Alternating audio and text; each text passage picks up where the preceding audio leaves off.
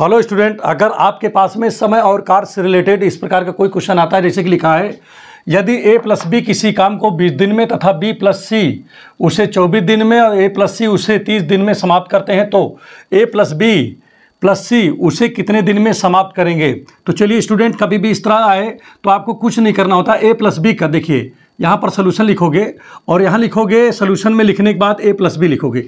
ए plus B का देखिए एक काम को कितने दिन में करता है? बीस काम को करता है। ए बी जोड़ करके। ठीक है? बात समझिएगा। और इसी प्रकार से बी प्लस सी जो है, वो एक काम को कितने दिन में कर रहा है? एक काम को चौबीस दिन में कर रहा है। और ए प्लस सी जो है बेटा, यहाँ पर उस काम को क्या कर रहा है? तीस दिन में कर रहा है, एक काम को तीस दिन में कर रहा है। तो कह रहा है कि A plus B plus C उस काम को कितने दिन में करेंगे? तो इसके लिए बेटा क्या करना पड़ेगा? आपको ऐड करना पड़ेगा। ए दो बार है तो यहाँ पर टू ए हो जाएगा बी दो बार है तो टू बी हो जाएगा सी दो बार है तो क्या हो जाएगा? टू सी हो जाएगा। और यहाँ पर देखिए क्या आ जाएगा? एक बटा बीस प्लस एक बटा चौबीस प्लस एक बटा तीस हो गया। अब स्टूडेंट, यहाँ पर दो कामन ले लीजिए तो यहाँ पर क्या आ जाएगा? A plus B plus C जिसकी वैल्यू हमको निकालनी है। और यहाँ पर वही काम फिर से करना पड़ेगा एलसीएम लेना पड़ेगा।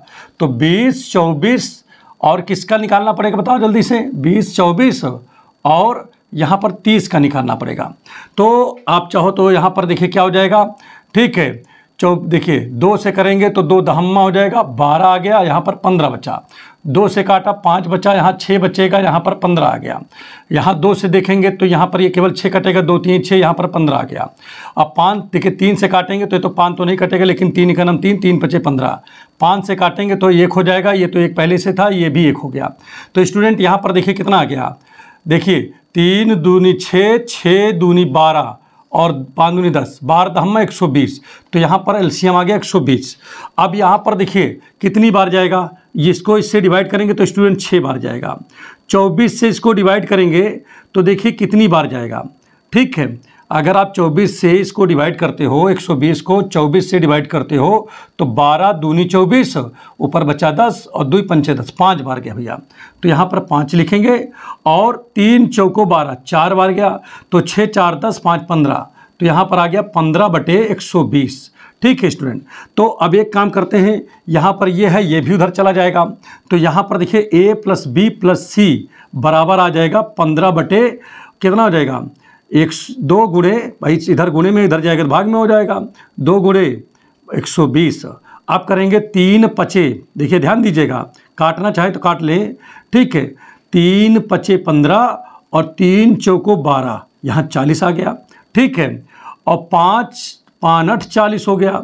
तो स्टूडेंट देखिए क्या आ गया, एक बटा सोलह आ गया, आठ दूनी सोलह। तो student A plus B plus C उस काम को कितने दिन में करेगा? सोलह दिन में करेगा, उलट के लिख देना होता है, पलट के लिख देना होता है। तो समझ में आ गया होगा। अब इसी में कभी भी आपसे कोई क्वेश्चन पूछ ले कि ए अकेला उस काम को कितने दिन में करेगा? तो स्टूडेंट, ये वाला चीज़ आपको इसमें से घटाना होगा। अर्थात क्या करना होगा कि A plus B plus C से आपको किसको घटाना है?